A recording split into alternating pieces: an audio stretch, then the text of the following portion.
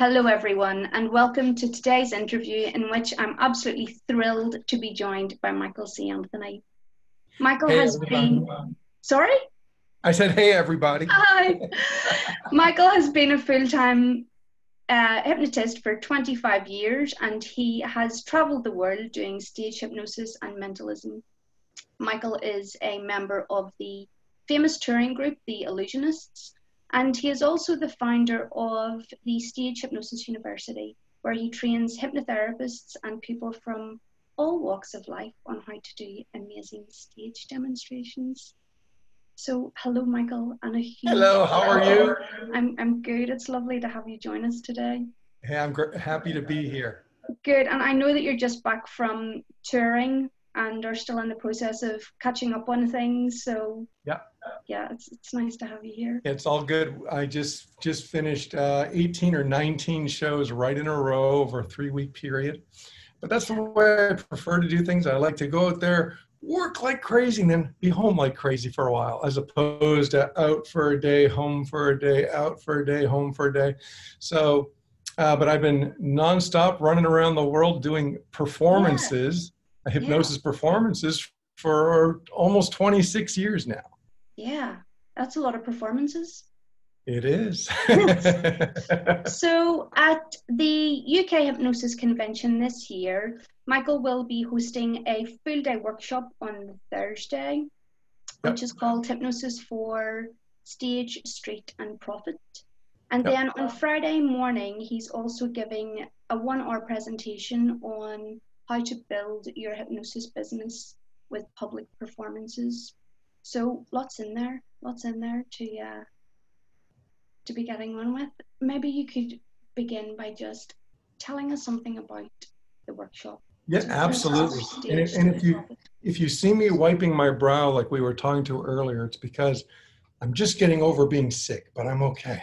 I'm okay for the interview.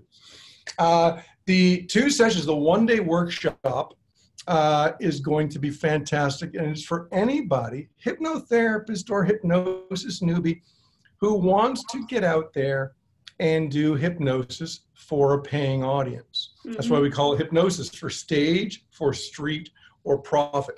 Now, the stage part uh, is where the money really comes in because a hypnotherapist or any any hypnosis enthusiast can make a lot more money than they think by performing hypnosis Okay. You know, and, and, I'm not, I never ask anybody to leave what they're doing. Hypnotherapy, fantastic thing to do. Many of my students are hypnotherapists, but I find a lot of them say to themselves, you know what? I'd like to go out and have fun with hypnosis as well. Yeah, uh, there, there does seem to be an emphasis on the fun, the fun and the profit. Right. Yeah, absolutely. For sure. For sure. And we, we want to make sure that anybody who you know finds themselves in a position where their, their therapy is going great or maybe they want to expand on their hypnotherapy business. There's no better way to do that than getting out there and performing for an audience. Okay. um, and what i'm talking about in the in the one hour talk is how, basically how to scale your hypnotherapy business. So we've got the full day workshop hypnosis for stage street or profit. This is where we really get into how to build the show mm. uh, the key components that you're going to need to do that to make sure you get all the volunteers you can possibly imagine. Because at the end of the day, a stage hypnosis show becomes a numbers game. If you've only got three volunteers, you're going to be somewhat limited as to what you can do, as opposed yeah. to if you have 30 volunteers, yeah. right?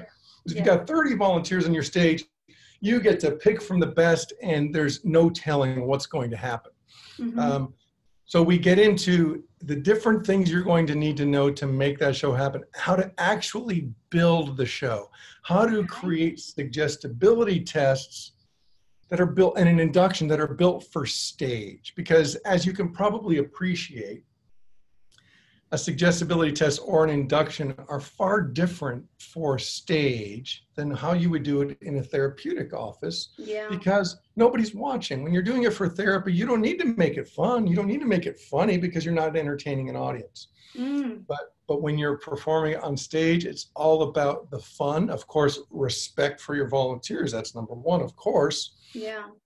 But you're going to make this very fun. And there's a lot going on on stage. I tell hypnotherapists all the time I say, look, here's the thing. People ask me what's more difficult, stage work or therapy work? And it's kind of a cross. Some are easier for one reason or another, some are harder for another reason or another.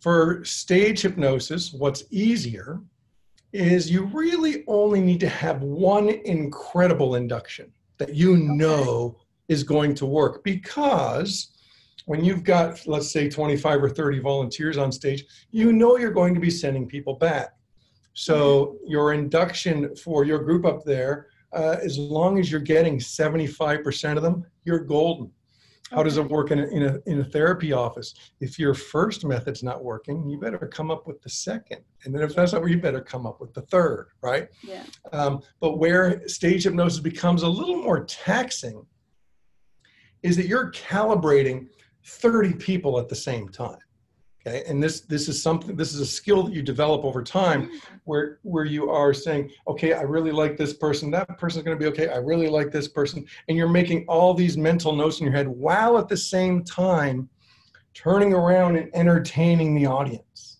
Yeah. Hey, this is a, it's it's kind of it's it's really a dance on stage. I liken a stage hypnotist to a director like a broad a director of a broadway play who's got 30 participants who have never seen the script. Mm. so that's your job as a stage hypnotist is to okay here we go 30 people i've never met let's put on a performance these people will never forget. So that's your job. A lot going on in the background your brain's spinning at first but then you soon get used to it like anything. Yeah.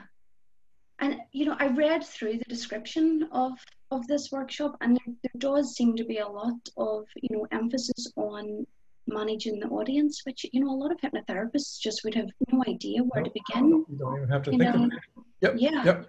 So, and there's different audiences for, it depends who you're performing for. Are you performing for a Mhm. corporate audience? Are you performing for, you know, college age, high school age? It all depends because you're going to attack your show differently uh, depending on who you're in front of. Yeah. Yeah. And it's, and it's important. It's very important. Here's the mistake some stage hypnotists make. They get up on the stage and they hypnotize their group of people, almost ignoring everybody behind them. Yeah. and they lose there's a disconnect they lose rapport and they're not sure why things aren't rolling so it's very important every once in a while to be talking to the audience explain what's happening kind of in a stand-up comedy kind of way um, so the audience is like ah okay i understand and w- with the with the hypnosis that we that i that i train with that i teach with I take an Ericksonian approach. And the reason is because Erickson uh, was just so elegant in the way he did things. And here's what I want my this is what I want my audience to be thinking. And I know it works as people tell me afterwards. I want them thinking, I don't know what he's doing, but I can sort of hear it. I can I can hear when he changes this when he when he said you know they're hearing things like analog marks they're hearing things like confusion statements mind reading Yeah. statements tag questions all these beautiful things that Erickson integrated into his therapy sessions Yeah. that I use on the stage but it makes the audience go you know that's because if you're just doing direct suggestion Yeah. then the people are thinking well he basically just told them what to do and they did it Yeah, that's that's really interesting. I it hadn't occurred to me that you would use Ericksonian stuff on the stage. I assumed that it would all just be, you know, very direct. no I, I don't like to take the direct approach for that reason Okay. Um, it's going to work beautifully on the participants using the Ericksonian stuff. But the, the primary reason I do, I mean, I can get it to work in a myriad of ways, but the reason I like to go the Ericksonian route is for my audience, not for Yeah. not so much for my volunteers. I want that whole something's happening. yeah. I can sense it. right. Yes. Yes. Yeah. Yeah. That, that that's brilliant. And Yeah. you know, there are hypnotherapists, I'm sure, who would, you know, really like to be able to take the the skill of you know being a hypnotist onto Yeah. the stage, but just would have no idea where to start with the logistics. You know, Right. how, how to even begin with this kind of thing. Right, and that's why I like to make it so I've got many students that are hypnotherapists from around the world, Mm, and I, several of my hypnotherapists say, you know what, Michael, I'm now using the techniques I learned within Stage Hypnosis University in my therapy sessions and I'm getting way faster results. You know, yes. he's not yes. doing the jokes and he's not doing the ha ha with the audience, but but the but the reaction creating trance with his participants is happening far faster because yeah. missing a lot of the fluff that is sometimes as hypnotherapists we sometimes we can we tend to get lost in our own words sometimes right mm. And sometimes when we take a fresh look at a different approach it makes it say, huh, yes. maybe that's going to work even better or faster or get better results. Yeah. Yeah, yeah, yeah. it sounds great. Um, so a little bit then about the presentation on the Friday morning. Yeah, the Friday so the, morning. The Friday morning presentation, how to build your hypnosis business with public performances. Yep. So will there be a little bit of crossover or a tiny bit of crossover, but it's more about okay, it's more about okay, you've come in the room, you're already a hypnotherapist. I know this. Yep. And let's talk about the whole how are you going to uh, potentially step out of the the model that you're currently in. You're, you're staying in the model partway, but take one foot out mm. and and build that business by doing the performances. Because here's the benefit that, that a lot of people don't understand. When a hypnotherapist takes the time to create the show, uh, to build the show, okay, first of all, they've got something they can sell over and over and over and over again. Mm. But once they've done that, and I've been dealing this for almost 26 years. Every night after a show, people come up to me. Michael, can you help me with my weight? Can you help me with my phobia? Can you help me with my anxiety? And why are they doing that? Because they thought they were just coming in to be entertained. Mm. And most people have heard that, and I talk about it from the stage, believe me. Uh, you know, most people think, well, you know, I, have heard that hypnosis can help people stop smoking, et cetera, but I, I do touch on that on stage.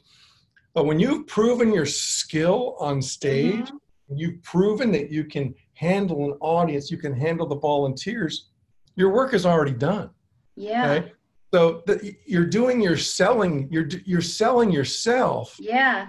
While you're having fun, and then the yeah. people come up afterward, they say, "Help me, please, you know, help yeah. me with it, help me with this," and there's no faster way to scale a hypnotherapy yeah. business than by it's doing like it's like the greatest convincer you know? it really is. People talk about doing convincers in the therapy room. Doing a stage show was you know the ultimate convincer. Right. Yep. And and everybody in the back of their mind when they think hypnosis they think one of two things. They think a cluck like a chicken mm-hmm. or b help me stop smoking help me lose weight. They, they yep. think it's either going to be therapy or or it's either going to be you know the the antics on stage and the reality is it can be both and both can can be a fantastic model for anybody to follow and either improve their business or create a whole other stream of income that they didn't think was possible. Yeah. Because i suppose whether it's being done on the stage or in the therapy room it's ultimately about creating an experience. Yep. You know, creating an experience for the person involved whether right. that is you know a long-term experience or like right. As you say. And whether that experience be for your participants on stage or or the people in the audience, because yeah. this is my, this is my goal. I know that when I come out on stage, I know people in the audience. Some people are like, I've seen Michael before. This is going to be fun. Some people are like, I'm just came here because my friend wanted me to come. I don't know what to expect some people are a little bit fearful because they think I don't want to be hypnotized, right? And yeah. I, am not hypnotizing the whole audience, so they don't. And I and I, I address that quite quickly. But my goal is for everybody to walk out that room an absolute believer in what they just saw. Yeah. You know, so they're they might walk in, they might walk in going, "Oh, what a bunch of nonsense this is going to be," and they walk out going, "That was just converted." Incredible. Yeah, yeah. Yes, I've had so many people come up to me. It, it, it's so funny because hypnosis is such a it's a persuasion game in so many ways.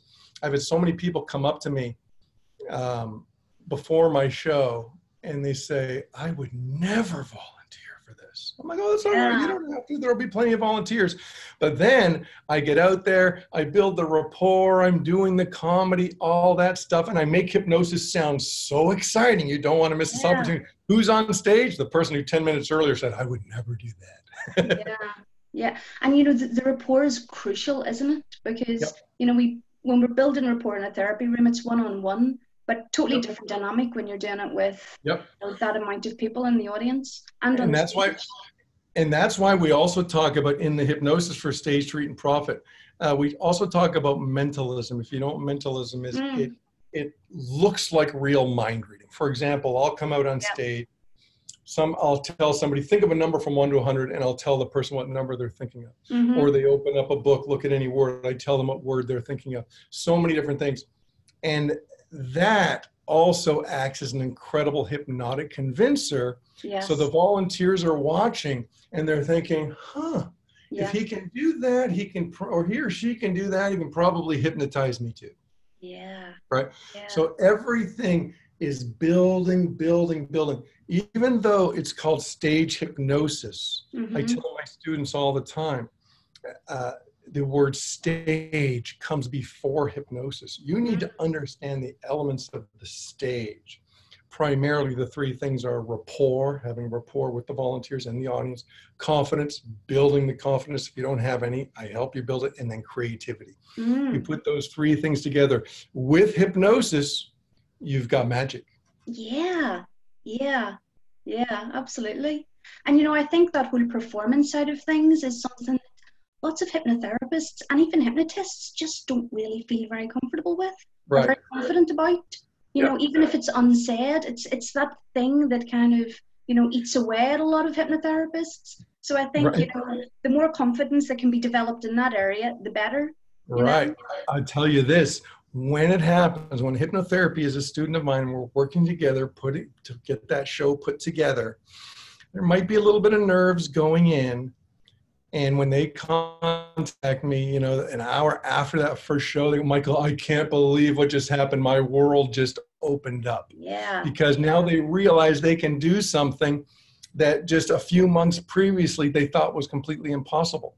And so things open up, opportunities are open up, uh, streams of income have opened up, and it's just a fun way yes. to make a living. It really is. Yeah, yeah. yeah. I love the subtitle of um of uh, your workshop. Get paid ridiculous amounts of money for having fun with hypnosis. there is ridiculous amounts of money, especially in the corporate world. Uh, I've worked every market you can imagine in this over the last 26 years. I focus on corporate. Uh, okay. there's cruise ships, there's high schools, there's colleges, there's fairs, there's festivals, uh, there's comedy clubs, different mm. private events your average person would have no idea how often hypnosis is happening near them someplace. But mm. there's so much going on and so much opportunity out there. It's really quite amazing. Yeah, yeah. It, it sounds great. The workshop and, and the presentation both just, you know, sound brilliant. So yeah, if, any, if anybody out there hasn't registered yet, or if they're thinking about it, if you're on the fence, make it. sure you're there. Uh, we're going to have a yes, absolutely. The direct suggestion. yes. uh, on the, the, Thursday is the is the full day workshop. Yes.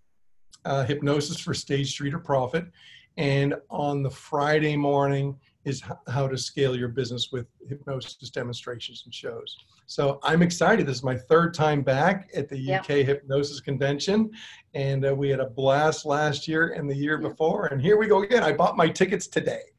Good stuff. My, Good my stuff. flight, I mean. yeah. yeah. no, I'm excited. I'm I'm really looking forward to it. It's uh it's one of my highlights. Good. I'll, so, I'll look forward to seeing you there. Yes, yes. And for anyone who would like to come along to Michael's workshop or to his lecture and is still to get a ticket, you can visit the website at ukhypnosisconvention.co.uk and. I think the workshop is slash workshops, I think. Yes, I, I, think you're right. I think you're right. Um, and so, you know, all that remains for me to say, Michael, is thank you very much. Thank you for taking the time to speak to us, especially when you're not feeling I, hey, no worries. I appreciate it. No and, uh, worries. it's been a real pleasure. And you, the the workshop and the presentation just both, you know, sound entertaining and educational both. Yeah, they are. We we we have fun, and there's incredible life changing takeaways in both of them. So yeah. Uh, so it, it's going to be a great time, and I'm looking forward to coming out to the UK. Yes, yes. Well, thank you very much, and we will see you in November. All right. Thank you. See you thank soon. Thank you very much, Michael. Bye bye. All right. Take care.